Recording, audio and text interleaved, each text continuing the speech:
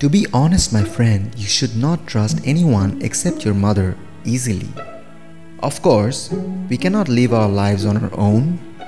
We must trust others and create meaningful bonds with our friends and relatives. But you must take some time and know the person fully before you set your hearts on them. To those who live a carefree life, I am not talking to you, but for those of you who understand the meaning of both pain and happiness. Understand this, all your troubles was for a higher cause. You must learn to be comfortable with your own skin and trust yourself.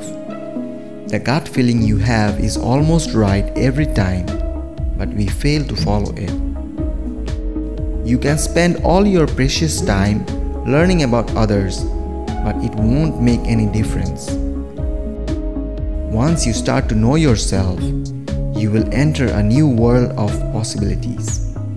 Because you are the reality of yourself and how you lead your life defines your life story.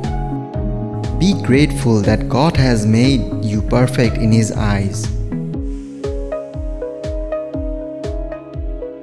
If you could hear Him, then He would have said to you, When you are with everyone but me, you are with no one.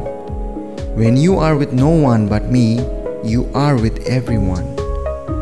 Instead of being so bound up with everyone, be everyone.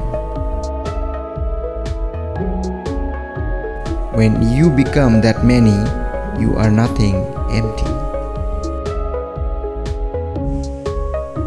Who sees inside from outside? Who finds hundred of mysteries even when minds are deranged? See through his eyes what he sees. Who then is looking out from his eyes?